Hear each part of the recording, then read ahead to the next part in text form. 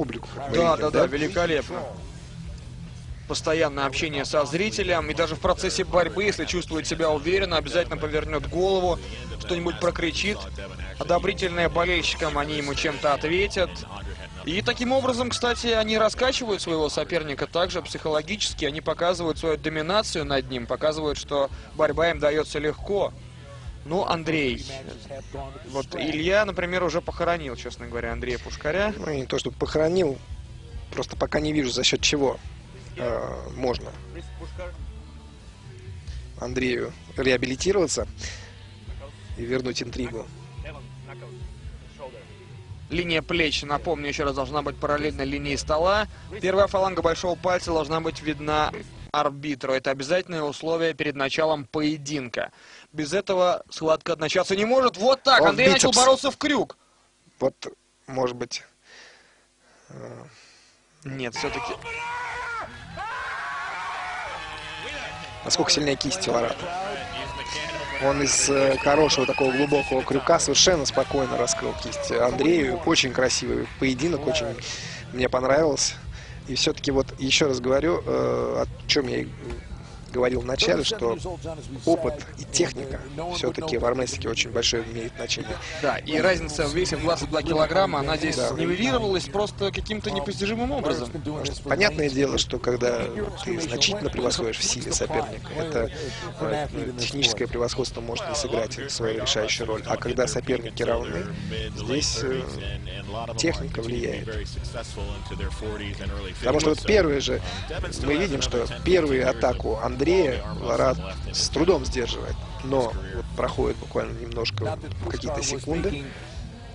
И он И вот мы понимает, что видим, его Андрея уже пальцы раскрываются, уже не держит. И Ларат ударяет как раз эти ослабевшие пальцы кистью, кистевым движением мощным, мощнейшим просто.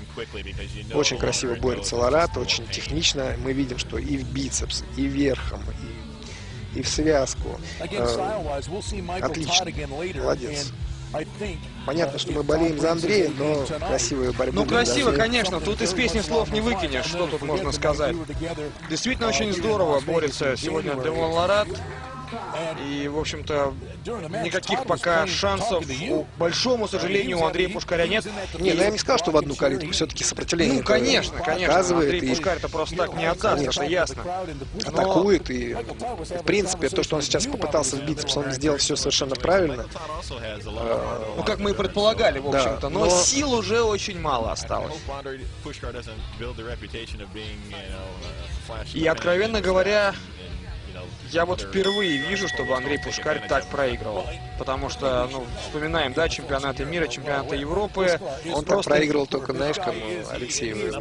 Да, Алексею Воеводе, причем тоже с крупным счетом, по-моему, если мне помнится. Не, ну, э, я, я не помню, были ли армфайты с Алексеем, а совершенно точно на любительских соревнованиях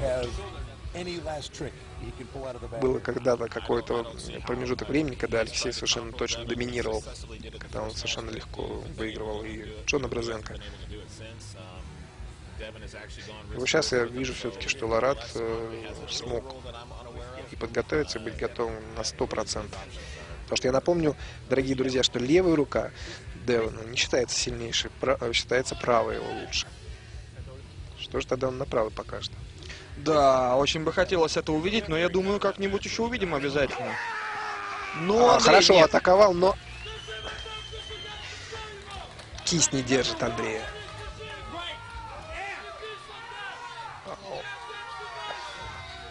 Да, мы видим, опять раскрыл руку Было, было. соперника.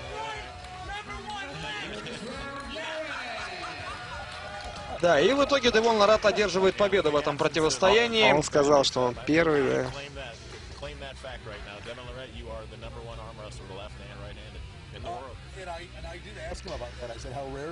Как ни прискорбно нам это констатировать, друзья, но титул чемпиона среди профессионалов супертяжелой весовой категории достается представителю Канады. Я так понимаю, пройдет в любом случае и шестой поединок. Ну, конечно.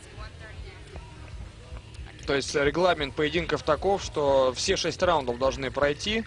вне зависимости от их исхода. Я не знаю, будет ли бороться сейчас Андрей, чтобы поэкономить Будет. Он профессионал. Наверное, будет, да. Хотя, с другой стороны, а вот ты правильно сказал, что экономить силы, ведь мы помним, что на правой руке ему предстоит встреча с Тимом Бресноном. Я скажу, что Тим Бреснон далеко не подарок. Это во-первых, да, и очень много сил уже оставил за столом Андрей Пушкарь, несмотря на то, что правая рука у него не была задействована, тем не менее общая усталость наверняка присутствует. Да, шестой раунд мы с вами увидим, счет 4-1 в пользу Девона Ларата. И заключительный раунд, который скажет нам лишь о том, с каким счетом завершится этот поединок. Это будет либо 4-2, либо 5-1. Да, и ты заметил, в первом поединке вроде бы так легко все сложилось, так удачно для Андрея. И разгадал Ларат все-таки.